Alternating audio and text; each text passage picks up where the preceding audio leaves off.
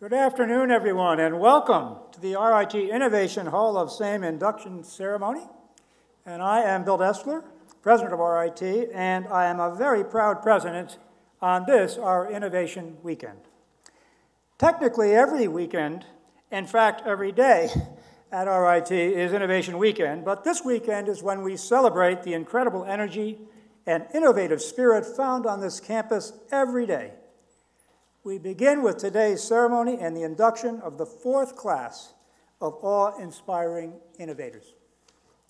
The Innovation Hall of Fame is still fairly new, but already it has demonstrated RIT's substantial connections to innovation in the arts, sciences, and industry. The innovators who are part of the Hall of Fame and those being inducted today are individuals who have impacted the world through a comprehensive body of artistic, creative, or technical work, or through innovative intellectual property, products, technologies, systems designs, or businesses. Each has been recognized regionally, nationally, or internationally in his or her unique contributions to a profession. Innovation takes on many forms and RIT is proud to celebrate the many different ways in which innovation energizes this educational community. Today we share the concept, we, sorry, today we shine the spotlight on six individuals with deep and meaningful ties to this great university. Individuals who have expanded the body of knowledge in their fields and, arguably more important, enriched the educations and lives of RIT students. It is gratifying this year to say that four of the six have served as full-time RIT faculty members, and all six have served as mentors to RIT students or student teams. So in addition to their innovative accomplishments, they have intentionally passed the innovative torch to future RIT generators. There are several people I'd like to welcome to acknowledge but first of all, I am grateful for the support of our professional sign language interpreters, without whom this event could not possibly be fully inclusive. Thank you. Let's give them a hand.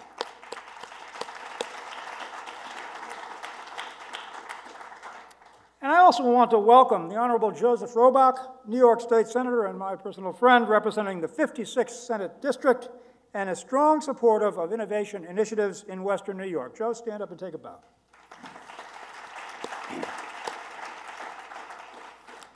In addition, we have Wendell Castle, Jim DeCaro, and John Hamilton, all distinguished members of the inaugural Innovation Hall of Fame class of 2010, with us this evening to welcome the innovators of 2013 into the fold. So would you please stand up and be recognized?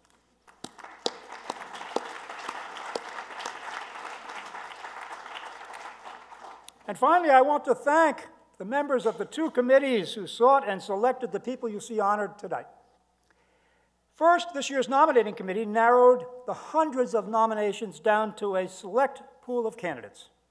That committee included John Shull, Gary Boehm, Michael Ruling, Elizabeth Perry, Andreas Savakis, Emerson Fullwood, and Ken Reed. Would you please stand and be recognized?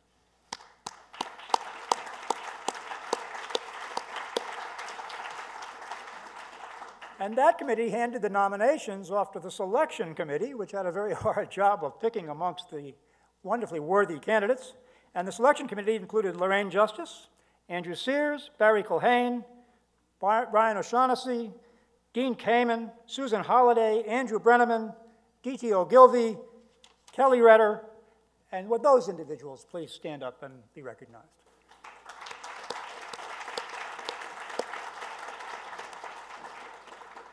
Both of these committees were chaired by the director of RIT's Simone Center for Student Innovation and Entrepreneurship, Dr. Richard DiMartino.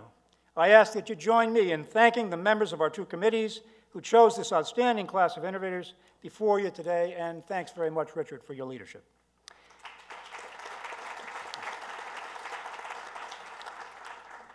As I said at the outset, today's induction is a gateway to a weekend of innovation on campus.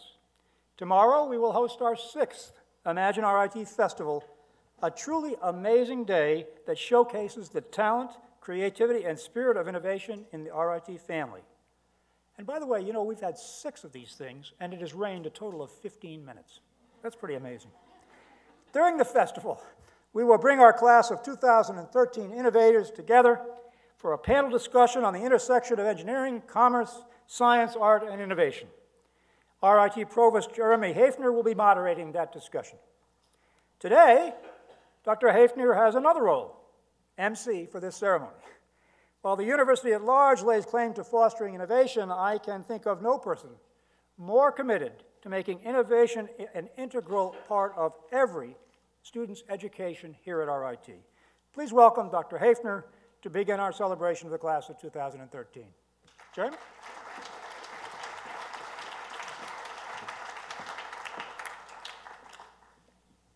Thank you, Bill.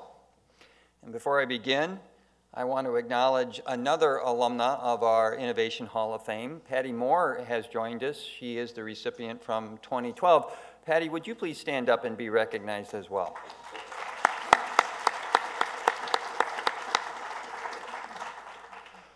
Well, it truly is an honor to join you today and recognize the unique accomplishments of these individuals.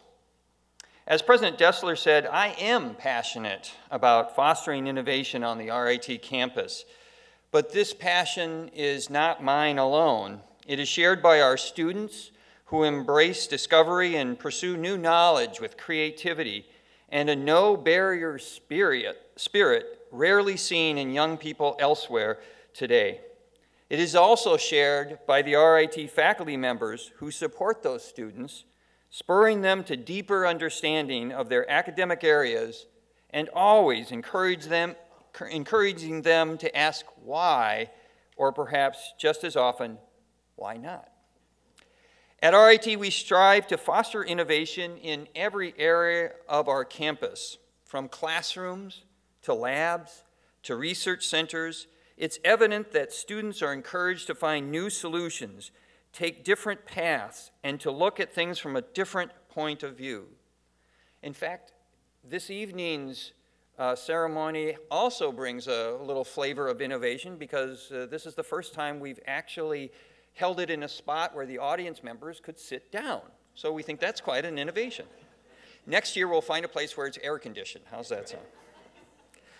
to support those traditional academic venues and kick innovation into high gear, RIT has built an innovation ecosystem that connects all the colleges and fields of study through cross-disciplinary projects, inspiring speakers and visiting professors, and an array of other opportunities to enrich every student's studies. The outcomes of many of, their, of these opportunities will be on display tomorrow at the festival. And of course, today's celebration of these extraordinary innovators, plays an important role in showing what innovation as a life pursuit means. While innovation is all around the campus, selecting the individuals to, to induct into the Hall of Fame is not so easy. Now, if you watch the Academy Awards show, you know this is where they bring out the accountants to tell you how the winners were selected. But um, our accountants are very busy today, no doubt checking how the provost spends his money. So rather, I will give you an idea of what goes on in the final selection.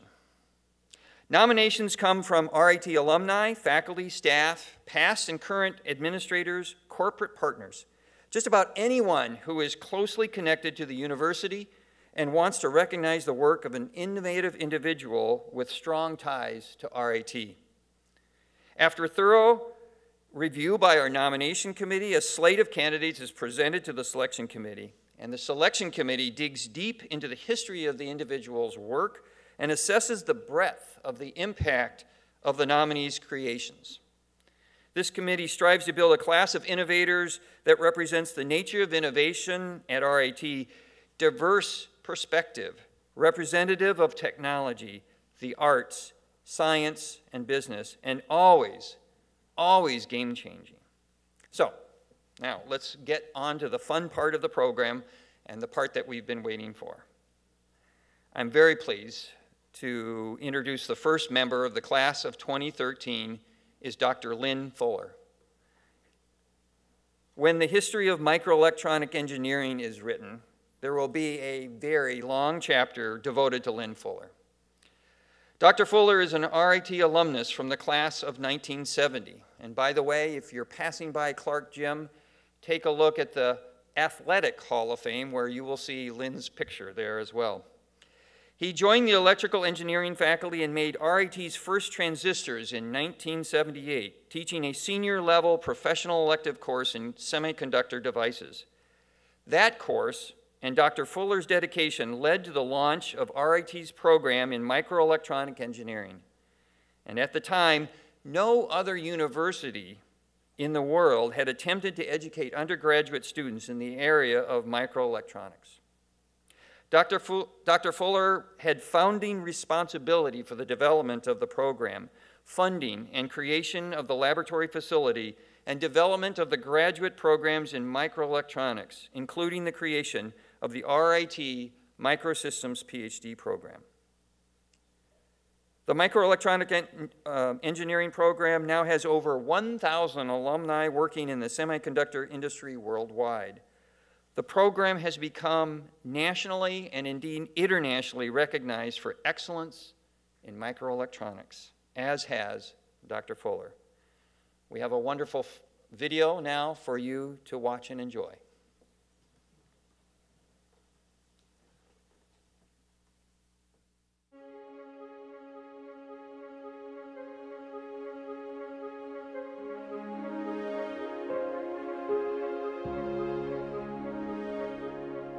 I first came to RIT, we had no transistors. There weren't any. I think I remember when RIT got its first transistor. Now we have cell phones with billions and billions of transistors in them, and things have changed just incredibly. The integrated circuit was created in the 1960s, and by 1970, there was rapid growth with the creation of the microprocessor. And by 1980, it was a full blown, multi hundred billion dollar industry. And the universities had fallen behind in creating the engineers that industry needed. I started at RIT as an electrical engineering student before there was a microelectronic engineering program. Dr. Fuller put together some equipment for making integrated circuits, and he said that a friend of mine and I could come in and do whatever we wanted as long as we wrote it down. We made the first solar cells at RIT, the first photo masks, the first uh, transistors and resistors, and it was really, really exciting. And later, the notes that we had done for that course were what laid the groundwork for the microelectronic engineering program. The industry needed uh, these engineers and they came to RIT um, because RIT had imaging science, but they wanted an engineer that understood the electrical engineering aspects of um, microelectronic engineering as well. And no such program existed. We had to create an entirely new program with more than a dozen courses. And we also had to create a laboratory that was huge. We had to build a new building, raise money, put in $50 million worth of equipment. Lynn was the person that was at the right place at the right time. But more than that, he was the right person at the right place in the right time. As a faculty member that was also an alum, I think he knew a lot of people here.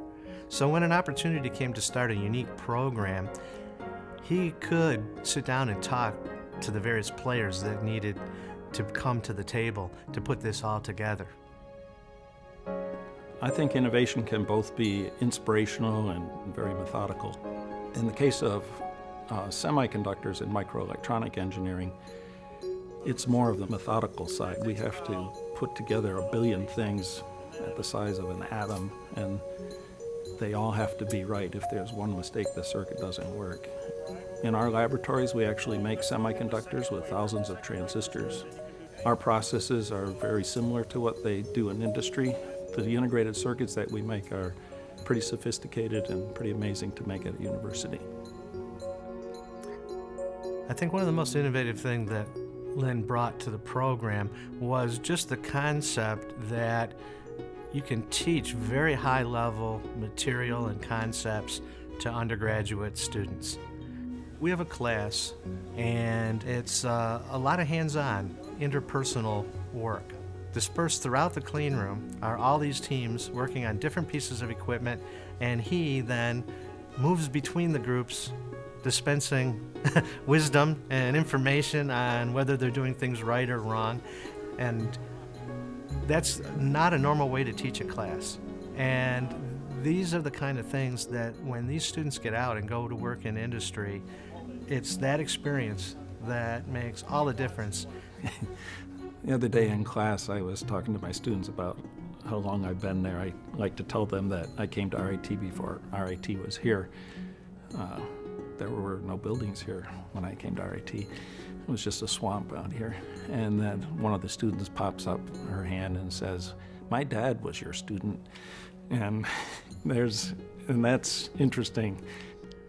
Lynn's career at RIT has spanned a, a tremendous length of time. And so Lynn's perspective is, is invaluable. He can remind the students of where we've been and where we're going. Our program was unique, and I've seen other schools copy our program or at least try to do something similar to what we do, and that's also very gratifying. And today, I think we made a real impact in changing the way education is done uh, for engineers that end up working in the semiconductor industry. And I believe that it's helped uh, the industry, uh, not just RIT.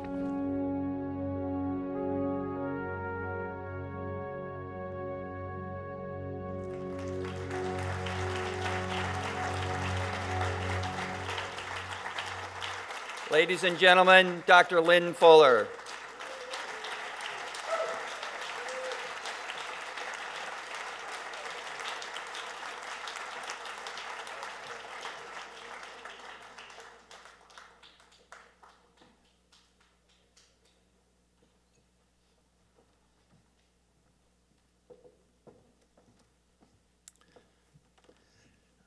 I'm greatly honored to have been selected to the RIT Innovation Hall of Fame, and I'd like to say thank you. And I'd like to also congratulate the other recipients that are going to be honored uh, later tonight. I'd like to thank my family um, for all their support over the years. Uh, my wife is here, and my two daughters and their families, and especially my grandchildren, Alenka, Diana, Ian, Oliver, and Griffin.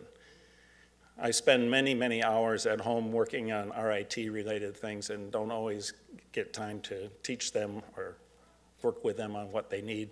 And I think they have actually enjoyed uh, working with snap circuits and uh, learning Morse code and whatever it was. So I've also had the opportunity to work and learn with thousands of students at RIT, and two of the best of them are here. Uh, Dr. Robert Pearson, who was featured in this film, is here. Uh, he was the, one of the first faculty in the microelectronic engineering program. And uh, Dr. Ivan Puchades, who was one of my first students in uh, the Microsystems PhD program. And I hope they will carry on uh, with the innovation in the future. This particular area of microelectronic engineering for the last 40 years has moved very fast, has been very interesting, and I think it will continue to do that. Thank you.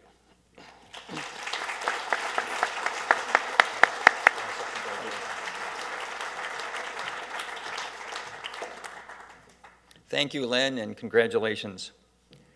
Our next inductee is Jackie Pancari. At RIT, we have a number of faculty who can tell us how light behaves. But Jackie prefers to show us. She is a glass artist whose fascinating work goes beyond creating beauty with glass. She merges glass and science and nature and the human experience to create her works. Jackie works out of a studio near Alfred, New York, but has been an associate of RIT's School for American Crafts for some time.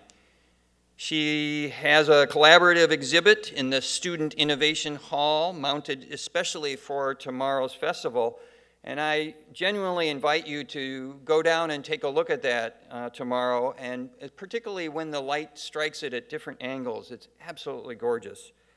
She has served RIT students as a visiting critique three years as an artist in residence, and three years as a visiting artist. In all these cases, sharing her unique perspectives and helping students to hone new skills as glass artists. Let's watch the video.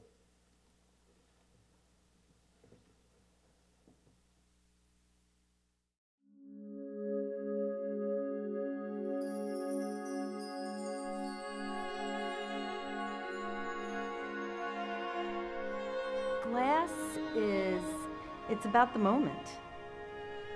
And I know when I'm creating my work that if I have that moment where I go, oh wow, you know, that's that's cool, that's really neat. I know that I'm getting somewhere, or I know that I've got it.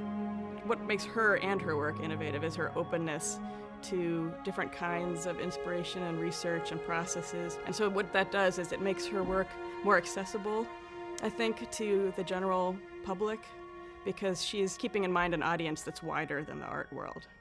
It's the properties of glass that I'm really interested. It's it's the physics of the glass. It's the moment where maybe you see a, a little bubble in the glass and that bubble it's beautiful.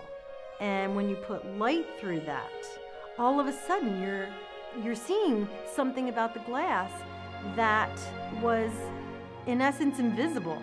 I think that's one of the things that makes her and her work so special is that she doesn't stay within any boundaries as far as the expected or the normal traditional glassworking processes.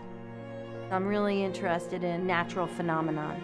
I love to go on walks. I love to take pictures. I have probably 24,000 images now, and that's it's really inspirational for me to take that information, bring it into the studio. Jackie's inspiration often comes from the most seemingly mundane things or occurrences that most people would just walk right by, like the way water droplets form on a windshield and move upwards rather than down, and that would lead to a whole piece. So she invites you in to share her sense of wonder at it. Some of Jackie's projects, she's starting with traditional glass processes, but she's taking it in new directions, like some of her reflective hemispheres. She'll put in a central piece to make patterns in the glass but she's brought it to a new place by celebrating the optical potential of that combination of this pattern with the silvered bowl. She's taking something very old and very new and presenting it in a new way. First, I go into the hot shop and I create the work.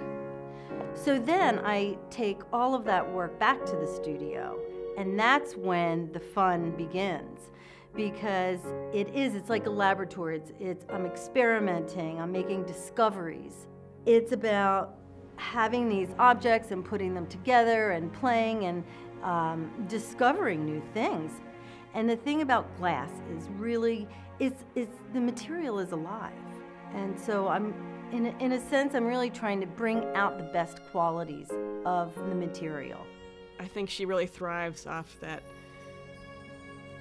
energy that comes from being surrounded by her ideas. I don't throw anything away. You know, I tell students all the time don't throw anything out because you may find that that is your best piece and you just don't know why yet. The School for American Crafts has evolved, and what we've done all along is bring in the best makers and thinkers who specialize in various materials and traditional techniques, but not in a way that is just to preserve those traditions, but really to use them as a foundation for innovating, for doing new things with these processes, these techniques, these materials, see what can be done. I think that innovation is about taking away all preconceived ideas about something and taking it in a new direction.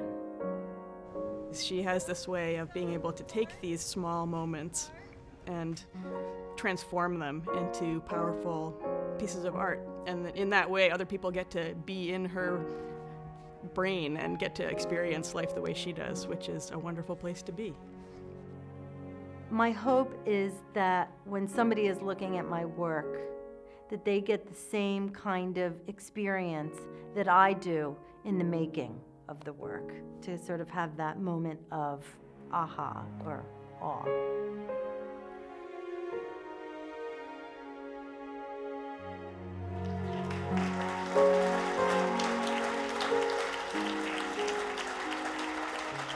Ladies and gentlemen, Jackie Pancari, Innovation Hall of Fame inductee for 2013.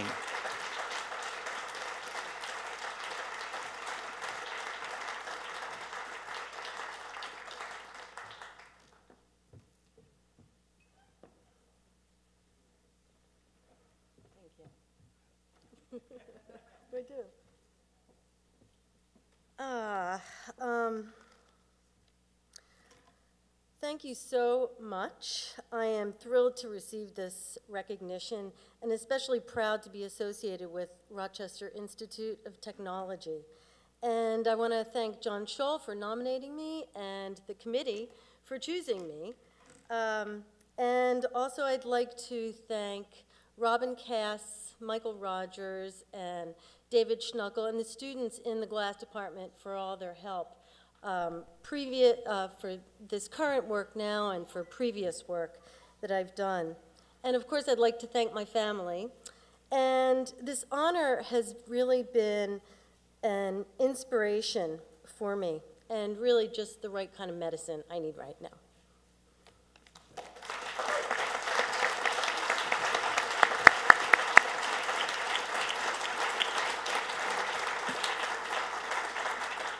Jackie, it's safe to say that your work and the work that you do here at RIT is an inspiration for all of us, so thank you so much. And now we're pleased to induct Paul L. Taylor III. Paul is an innovator who quite literally helped to change the life experiences of deaf and hard of hearing people. Paul saw an opportunity to combine Western Union teletypewriters with modems to create the first telecommunication devices for the deaf, known as TDDs or TTYs. But he didn't stop there. He then helped to create a network of these devices, as well as using them to launch local telephone wake up services for the deaf and the nation's first telephone relay system for the deaf, which he expanded to a statewide system.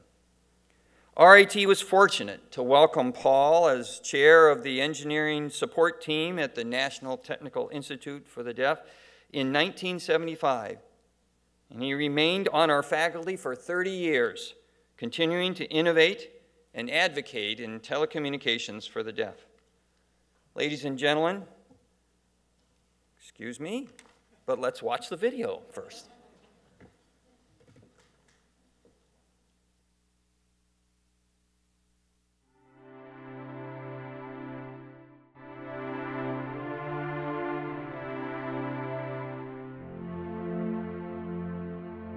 1964, when I saw the picture phone at the New York World's Fair, I could see the solution coming. It just blew my mind. It just hit me that I could communicate on a wire. I remember very well. Paul was always just a dreamer. He was always thinking about new ideas. One of his most frustrating times was when he was not able to use the telephone. All my life, I had never used the telephone. I had always asked my mother, my high school friends, and other people who knew me well if they would mind making a phone call. I would write out the number for them and they would do me a favor. One problem that I had with that it doesn't look very good to call a girl through your mom and ask for a date.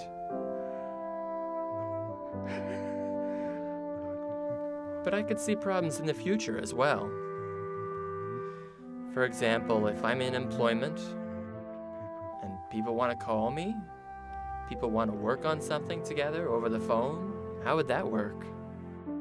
he came across a good friend of ours from California who had invented a technology that would allow us to use old teletypes that would fit with a modem. And that way we could use the telephone lines and the telephone system. He said he would be able to send me the acoustic converter, and that would allow me to change the wiring in my TTY. I went into the basement, took the thing apart, and made some adjustments, put it back together, and then he suggested that I call him at his number. So I dialed, and he answered immediately. Hello, go ahead. It was an exciting moment. To be able to communicate directly to California for the first time, his response was instantaneous. We were able to talk back and forth.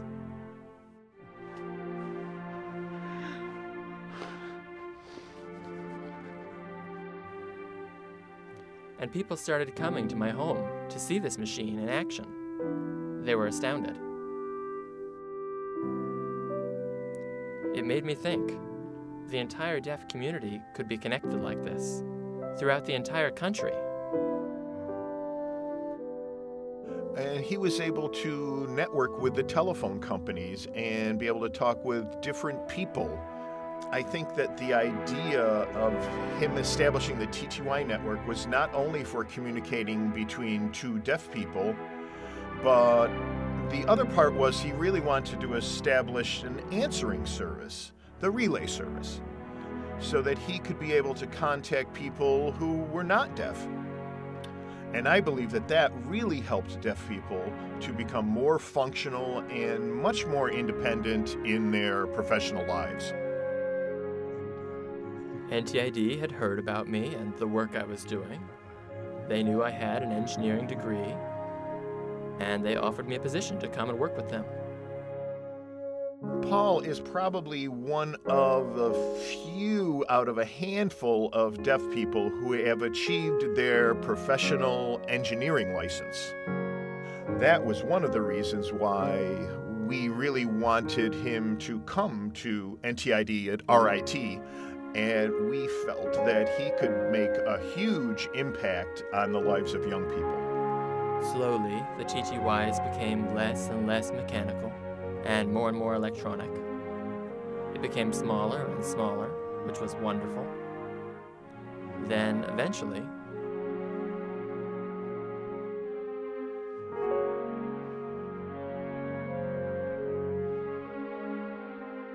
With today's technologies, uh, with mobile phones, FaceTime, video phones, all of that, you know, I think Paul can sit back and be proud that he was one of the pioneers that made it possible for us to have everything that we have now.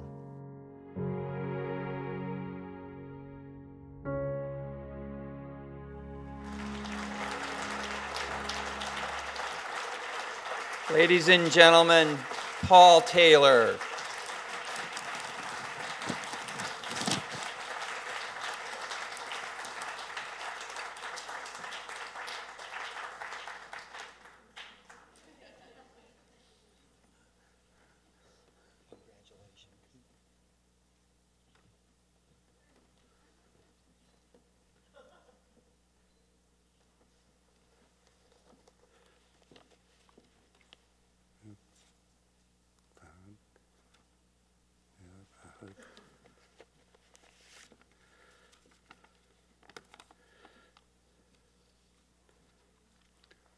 I'm very honored I am very honored considered part of to be considered part of RIT's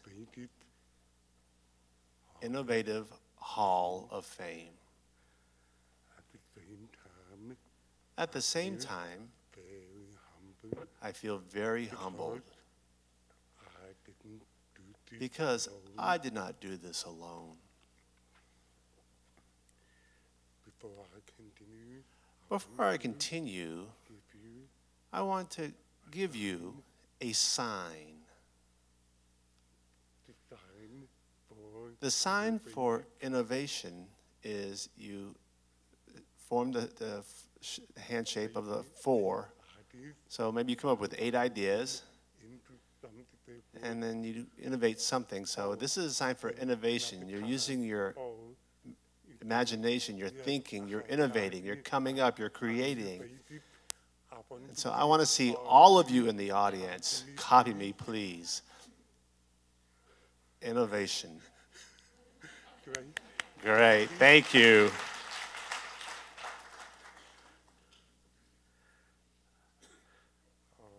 As the film pointed out, As the film pointed out, 1964 World's Fair I was at the 1964 New York World's Fair where Sally and I were sitting down apart from each other. And it was the first time in our lives that we were able to communicate from different rooms. It had never happened before. And so after that, I just talked about that all the time with other people. And um, there are a few people I want to thank. There's a few people I'd like to thank. I know that I only have 90 seconds, but I want but to start with these. I would like to start with just a few important people that helped me along the way. I want to thank my father in law. he's living a hundred. He's 101 years old, still living. He heard me talk. About the picture phone that I had seen at the World's Fair, and I would talk about it again and again. So he just happened to know several people in the management of Western Union, the teletype company. So he got to thinking. I'll call my friend and see what they could do to help. Myself and Sally realized that we could communicate in this way over the wire.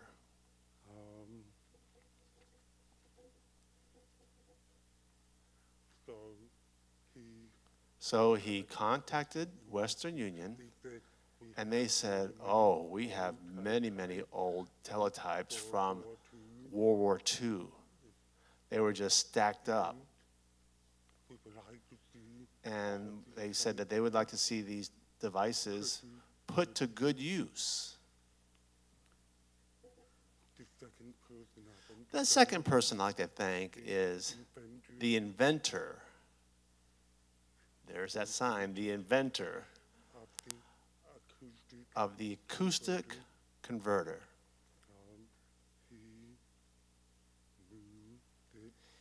He knew that the teletype device at that time, quite some time ago, used private lines. They were not hooked up to the audio part of the phone network. And so he figured a way how to combine the talking, the audio, with the teletype technology. And he came up with an idea. Every time you hit a key, it would send pulses. And each pulse was different depending upon which key you hit. Pulses would be converted And the pulses would be converted to sound. And then in turn, on the other end of the line, the receiver would receive that sound and convert it to the exact same electronic pulse that the person who originated the, the, sent, the signal sent. So that made this possible for people to use the phone, for deaf people to use the phone network. another person I want to thank. Another person I'd like to thank is my lifelong, Good and strong friend. He was very good mechanic. He got in the teletype. He got into the teletype business with me way back when, back in 1965. And We both went to school to learn how to work on the teletype devices, how to make the adjustments to change the wiring configuration. So we learned a great deal together, and then we were ready to make the connection to the coupler. And So he was with me throughout that time. And he knew many, many things that I didn't know, so he was extremely helpful. My friend's name is Gene McDowell. We both lived together in St. Louis, Missouri, back at that time.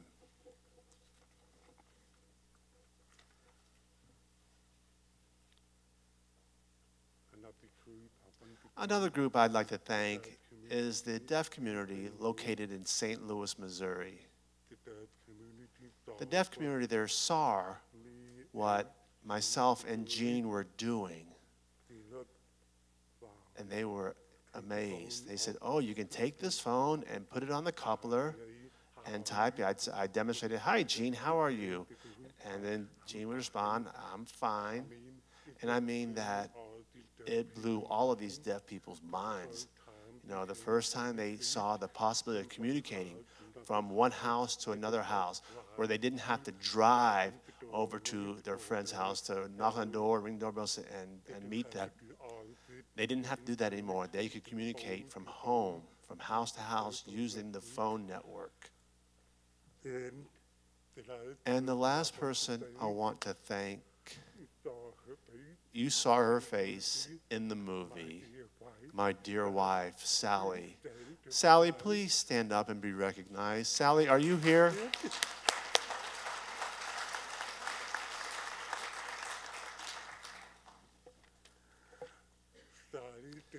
Sally did a lot of the paperwork for me.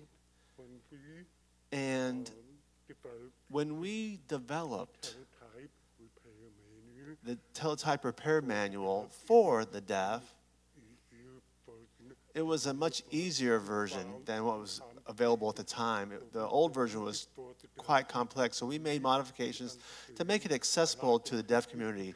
We used a lot of visuals, a lot of photographs, with some captions, so it was much easier to comprehend with the English subtitles and or captions. And so Sally organized some of the work. We had these girls coming over to type the captions to help, and so every time Western Union or AT&T would release teletypes, we would have to sign the necessary paperwork for obvious reasons and Sally took care of all of that for me.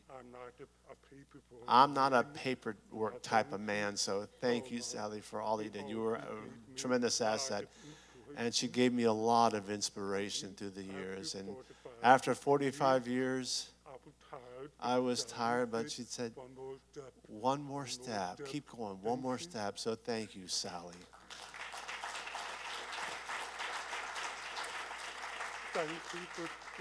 So thank you so much for this honor, and I will cherish this all my life. Thank you, all of you, for coming out.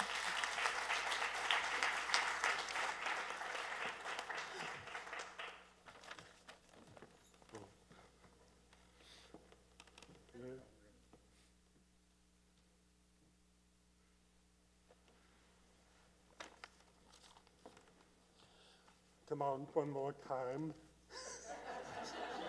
right? right? One more time with the innovation sign. I'm glad he did it because I was going to do it one more time for you.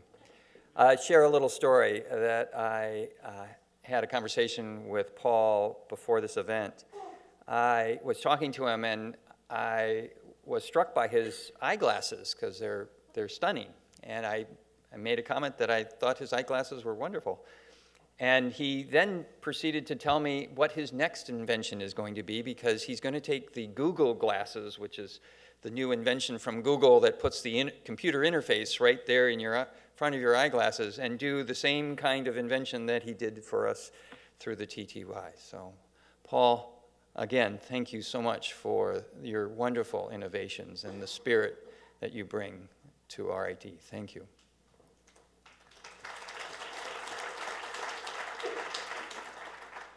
Next up is entrepreneur and RIT alumnus of our computer science program, Robert Fabio. Bob is not just a successful entrepreneur, he's a visionary entrepreneur. When he launches a startup which he has done many times in the last 30 years or so, he's usually looking to change the entire industry in which he's working. He did it in 1979 when he launched Tivoli Systems, an enterprise computer management system, when there was no such thing as an enterprise computer management system. He did it again in launching Dazel Corporation. He became so adept at launching world class innovative businesses that he was awarded the Ernst & Young Entrepreneur of the Year award in 1997. Currently, he is innovating in an industry so, so sorely in need of new approaches. His latest venture, White Glove House Call Health, stands to revolutionize the way healthcare is delivered to the consumer. Bob shares his entrepreneurial experience and perspectives on business innovation to our students in numerous ways, including speaking at our annual entrepreneur conference and mentoring student entrepreneur teams. Let's enjoy the video for Bob Fabio.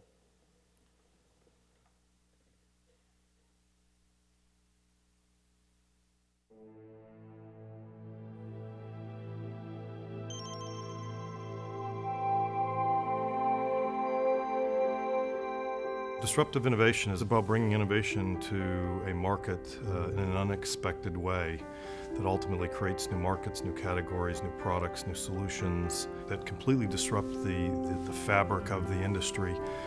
It's generally the case that uh, disruptive innovators attack an existing player when we started Tivoli, we were this teeny little company in Austin, Texas, and we were competing against IBM and at the time AT&T and HP and Sun and all these gigantic computer manufacturers. And they said, you can't compete against those guys. How are you going to ever win? It's the opportunity to create something that is significantly better than what's being delivered today. And in Bob's case, it's always game changing. Mainframe computers were the predominant backbone in corporate America. Networks of computers were beginning to emerge. And I said, well, why can't we manage a network of computers like a mainframe and do it with a graphical user interface? And people went, huh? Um, but, but that idea, that germ of an idea, created the third or fourth largest software category in the world today.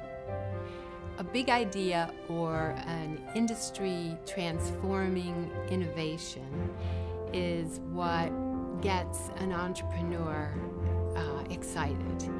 And White Glove Health was based on Bob's passion for uh, developing an alternative healthcare delivery system. I get up to go to the doctor's office. I leave the house at quarter to nine.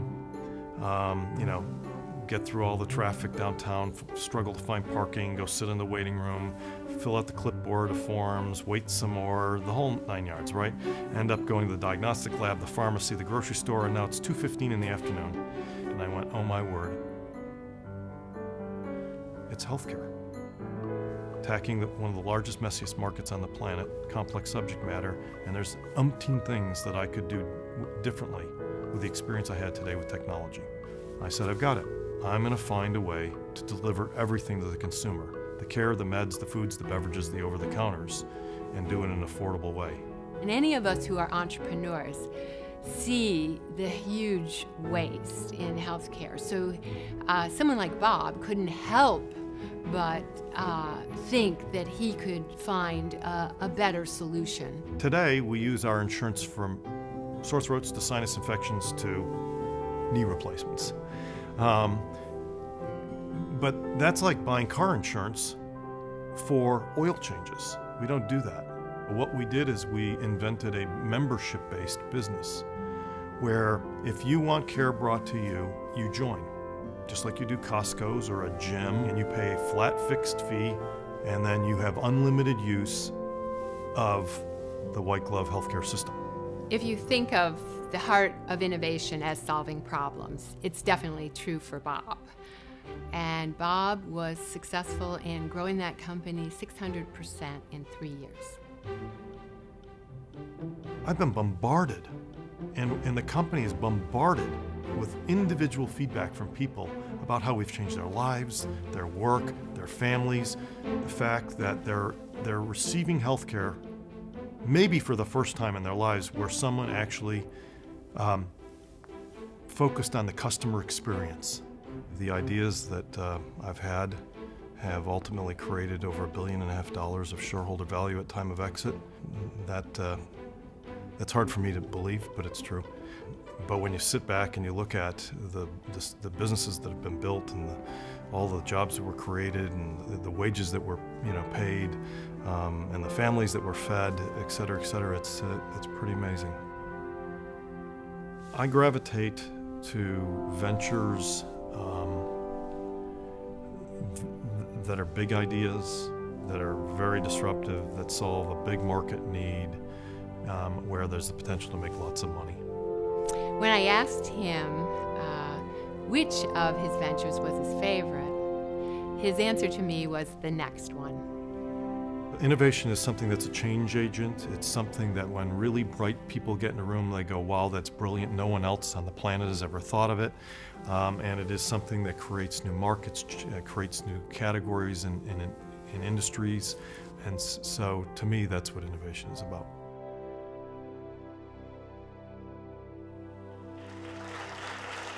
A warm welcome for Robert Fabio.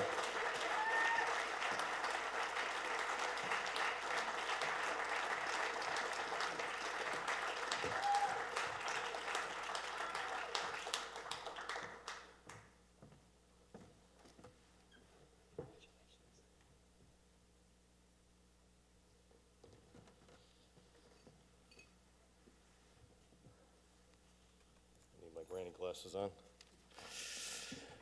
Good evening or good afternoon to everyone. It's uh, truly an honor to be recognized by RIT. Um, as I've said repeatedly over the last few weeks in talking about this, I'm humbled um, to be in such great company this evening. So congratulations to everybody. Um, I never imagined when I attended RIT back in the mid 80s uh, to obtain a master's degree in computer science that I'd be standing here this evening. Since graduating in 1985, I'm flattered to say that I've formed relationships with the last two presidents of RIT. I've served as a Board of Trustee member. I've spoken to many students, faculty members, and Board of Trustee members on multiple occasions about entrepreneurship and innovation, and now inducted in the RIT Innovation Hall of Fame. I've been asked, how did RIT shape uh, me as an innovator? And the answer jumped quickly to me. It was simple and clear. While RIT taught me many things as a student, the most important was to take risks. You can't innovate without taking risks. As a young man completing my master's degree, I took a big risk uh, by seeking permission from RIT to use software that I had developed in my master's thesis in a commercial setting. While I knew that at that time, that was generally not allowed. I asked anyways. I was told I was the first student to be ever granted the permission to use software from RIT out of a thesis project in a commercial setting. And ultimately, that became a critical piece of innovation for a Massachusetts startup that I worked for that then went public. So RIT, RIT taught me a very valuable lesson in my formative years that nothing ventured, nothing gained. In the end, for me, to innovate is core to who I am. With every business I've been a part of, the most exciting aspect of it is finding novel, innovative ways to solve problems. Problems that others may have looked at but hadn't seen the same kind of solution. In closing, it's rare for my family uh, to enjoy the fruits of my labor or the professional compliments that have come, that have come my way. Uh, so it's special for me to have my family here tonight. Um, thank you very much for your support and your presence here this evening. And thank you again for this unexpected acknowledgement.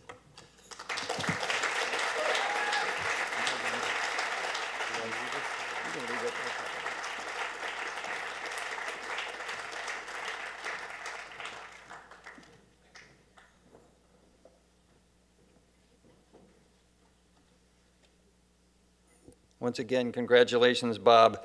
We're glad to count you as one of our own and proud of the work that you're doing to change the healthcare system for the good. Next, we present Dr. Bruce Smith. Bruce is an RIT alumnus as well and professor of nanolithography. Between student years and faculty years, he has been a member of the RIT, RIT community for over 35 years.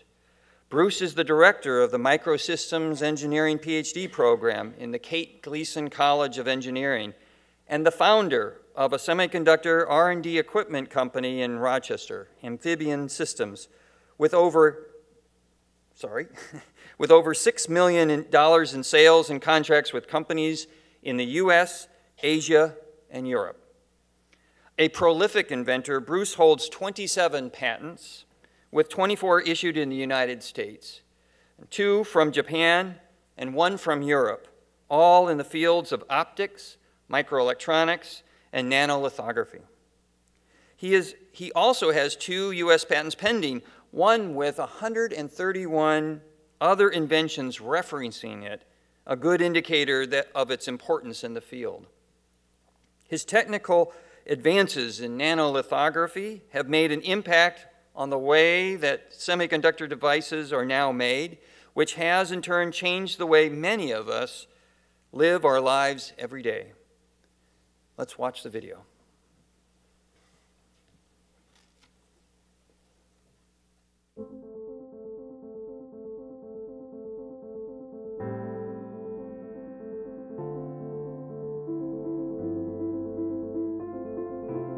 Microlithography is an integral part of building a microchip, which is in your computers, your iPhone, your camera, and so forth. It's what provides the functionality for your electronics.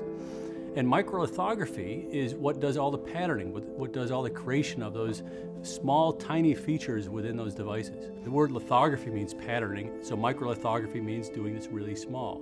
Microlithography generally means maybe on the micron scale, splitting a meter a million times. Nanolithography is splitting it another thousand times more than that. He practically wrote the book. I guess he did write the book on microlithography, science and technology. Bruce's work has been uh, trying to make those lines smaller and smaller and smaller and developing the techniques and the materials to enable that. There is some limitation to just how small you can make the features that are, that are in your microchip.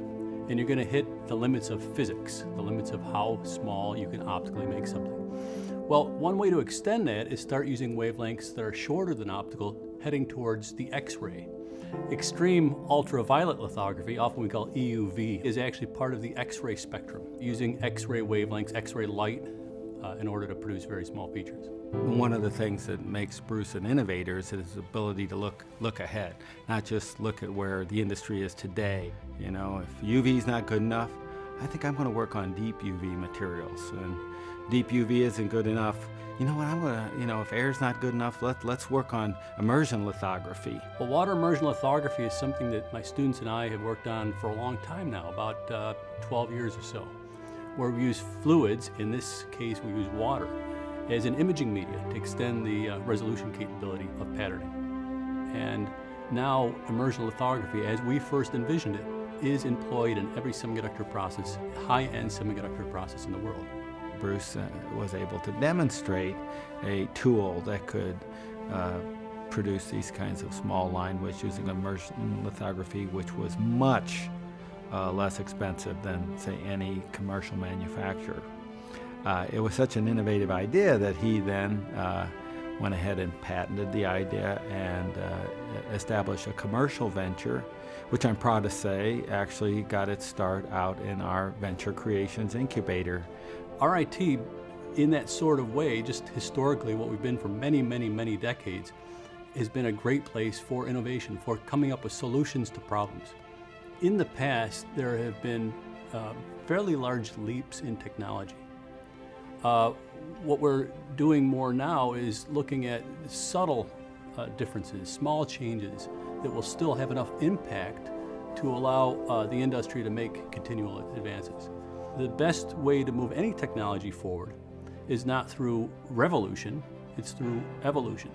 Just small amounts of latitude, a percent or a fraction of a percent, being able to make that much improvement doesn't sound like a lot, but that could be enough to really change uh, the way that you're able to do something. Well, I think RIT is a, is a great place to drive innovation and invention as well.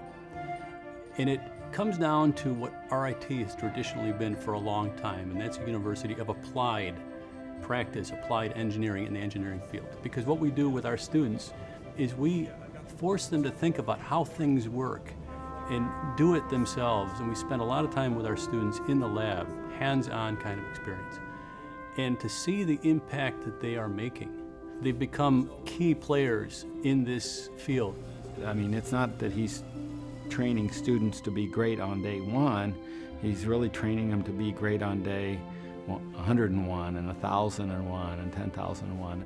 I consider myself really quite lucky in that what I do and what I love to do and what I love to work with students on happens to be needed today.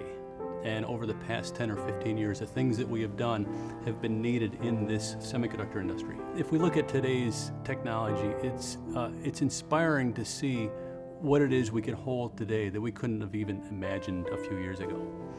And it certainly has been uh, uh, a, a lot of fun to be involved in the innovation that's, that has taken us this far to where we are today. And there will be something for the next generation and generations after that. So I think there's plenty of room for young students and new students and students for many generations to come to be involved in new innovations that we, we can't imagine today.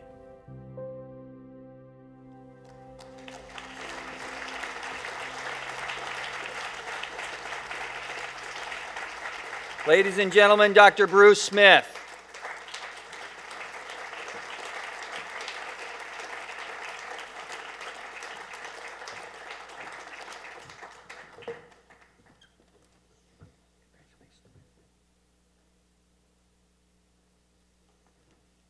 Well, that was a really good video.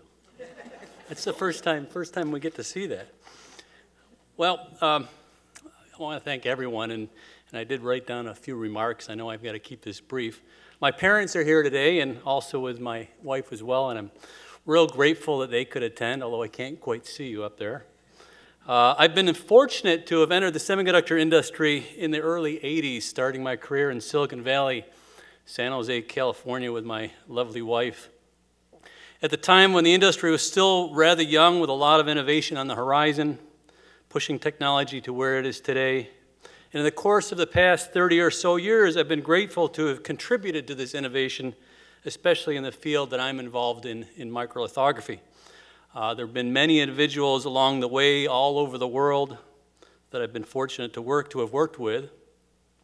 In the, in the many years I've been at RIT, this has been an exceptional place, an exceptional environment to support such innovation and creativity.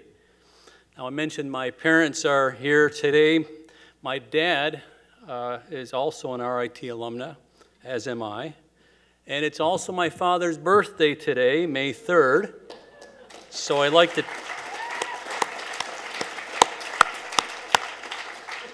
So I'd like to wish him a happy birthday, and I kept these comments very brief because I know we've got 10 seconds to sing him happy birthday, right? I'll start. His name is Bruce. Happy birthday to you. Happy birthday to you. Happy birthday, dear Bruce. Happy birthday to you. Thanks. Congratulations. You can take that with me.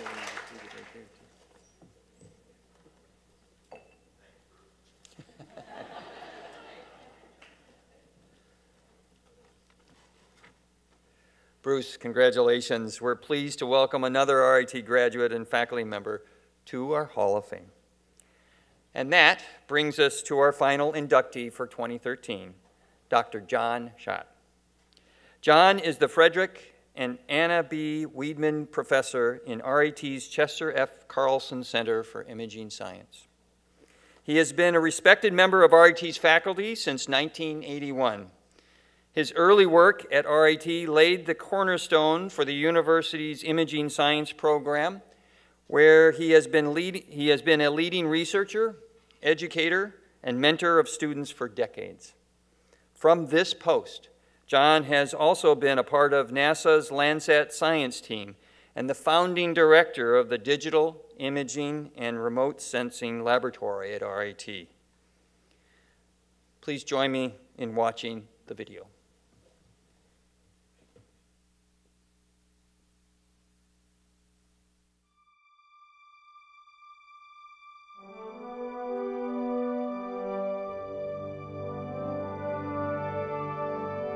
So imaging science is a really big field. And then remote sensing is sort of a subset of that. It's the images of the Earth from aerial and satellite systems. So Google Earth, and everything, you know, everybody knows remote sensing now because everybody's seen Google Earth, that's a piece of it, but it's typically more the quantitative extraction of information.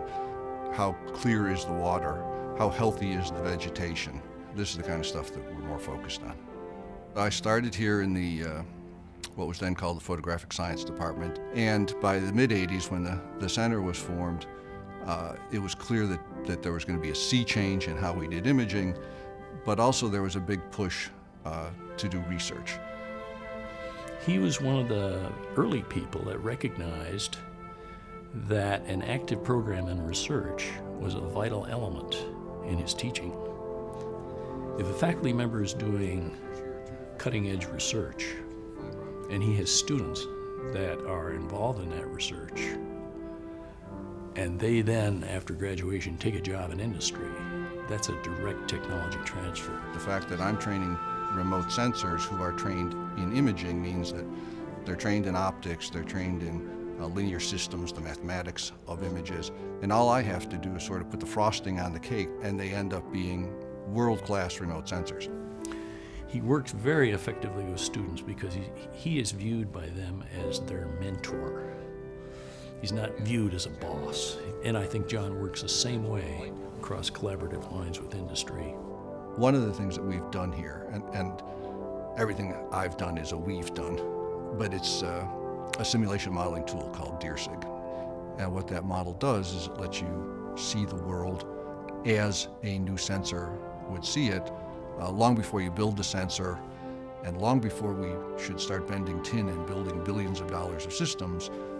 And so this tool is a tool that was conceived of here at RIT and built here at RIT and is now used by aerospace companies and the government uh, all over the country to try and address these problems. Landsat is the longest continuously running program to look at the Earth from space. The value of Landsat is not just the individual scales, but this time history. So we've now got 40 plus years of images that we can not only look at as pictures, but we can quantify. So the foresters got all excited. They could see and map all kinds of neat new things in the forests. The agricultural community could see all sorts of things in terms of what was growing where, how much was growing. The geologists could see all sorts of landforms and map landforms that they had never thought of. The people looking at uh, the glaciers could see things that they had never had a chance to see before. The water guys, I'm a water guy, the water people could see all sorts of things happening in uh, the water that we had never been able to see at these kinds of scales. I want to build the tools for all these other guys to use. And so Landsat gave us this huge challenge of, of how do you do that? Three, two, one, zero, and ignition, and liftoff of the Atlas V rocket on the Landsat Data Continuity Mission. Landsat 8 was launched in February of 13. It was actually a spectacular sight. It was beautiful, uh, sunny, clear sky, blue skies in the background. And it uses a new technology. It scans the Earth like you're sweeping up data with a pushbroom. You push these big lines of sensors as the satellite moves down the face of the Earth. What's exciting about this new technology is that these new instruments will let us be able to decipher much more subtle variations in the world in general, for my purposes, in the water in particular. The ability to work with, with students lets you do far more than you can do on your own. They look at problems differently, they attack problems differently. You get them started and uh, nudge them a little bit, and then you grab their coattails and let them take you for a ride. He's like the director of an orchestra. He recognizes what the flute section has got to do. He recognizes what the violins have to do. And he's able to bring those together in a, in a collaborative context and yet provide the leadership for that. I like solving problems. It's really that simple. Trying to to solve a problem for somebody, trying to figure out something that someone doesn't know is just fun.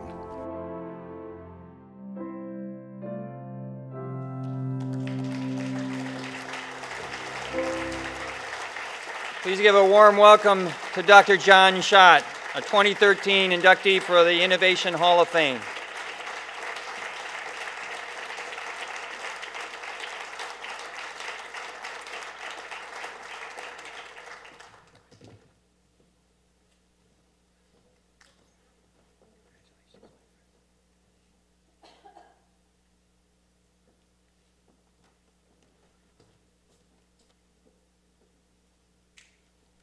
It's uh, humbling to be in this uh, rather august company. Some of you know I'm not often humbled. Uh, I, I, I, would like to begin by going off script and uh, thanking Ed for his, uh, his generous input to the video. And I think on behalf of uh, all six of us, thanking the team that put the videos together. It's the first time we've seen them. They're very enjoyable.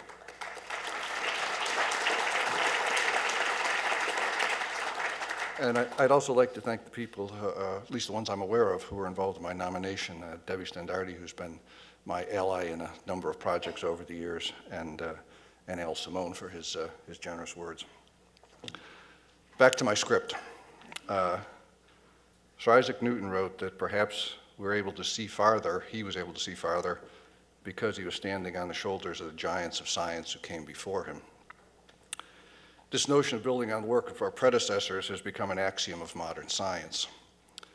In my case, I've had a small army of young men and women who hauled me up on those giant shoulders, propped me up there, and pointed the way for me to look. To be honest, some of them aren't so young. I was reminded of that the last two days where I sat in Washington and watched four of my former students brief some of the most senior people in the intelligence community about the work they were planning on doing with your tax dollars. All, all four of them were Air Force colonels, and many of them had hair the color of mine. Anyways, I owe the honor you grant me today to the efforts of these students who have worked closely with me. They dragged me up on those giant shoulders, propped me there, pointed the direction, showed me where to look and what to look for. There are many other colleagues, secretaries, even a few administrators who but for time I'd like to acknowledge. However, there is one other young lady who I'd particularly like to thank. She propped me up, often told me where to look and what to do. My partner for many decades, Pam Schott. May she stay forever young like these young men are in my vision. Thank you.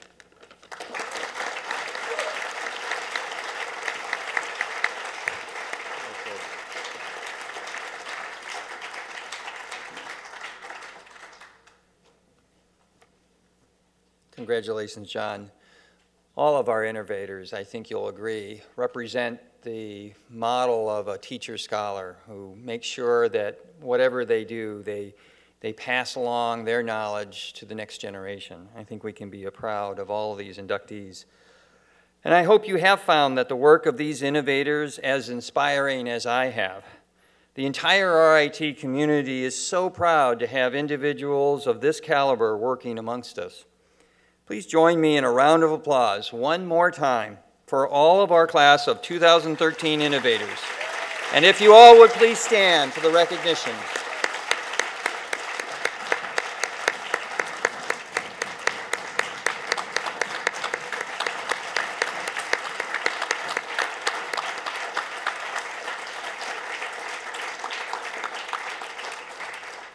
And with that, ladies and gentlemen, this brings us to our close. I invite you all to join us for a lovely reception in the University Gallery immediately following this ceremony. There are staff members uh, here to help direct you to the gallery, which is on the second floor and to the left of where we are right now. And please, please come back tomorrow for the Imagine RIT Festival, where you'll see inspired work of our students and faculty, the next generation of our inventors. And please don't miss the panel discussion featuring these innovators for 2013. I guarantee you'll find the opportunity to get inside their minds very intriguing. And on behalf of Dr. Destler and all of our innovators, I thank you all for attending today, and we look forward to greeting you at the reception later. Thank you so much.